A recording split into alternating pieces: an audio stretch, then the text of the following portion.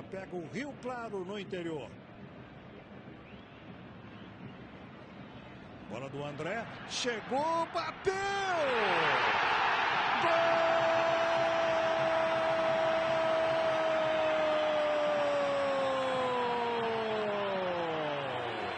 Romero! 24 minutos do segundo tempo. Ele ficou livre pela esquerda e bateu cruzado para fazer 4 a 0 para o Corinthians. 4 a 0 sem fazer força, Jota. A defesa do Minense é uma peneira, entrega muito o jogo. Não há proteção por parte dos volantes, os zagueiros são lentos. Tenta sair para o jogo com os laterais um pouquinho e dá mais espaço ainda. Então o Corinthians fica esperando o erro, o erro acontece. Um toque aqui, um toque ali, muitas vezes até de certa forma casual, né? como nesse lance aí, que fiquei com a impressão que nem era passe para o Romero.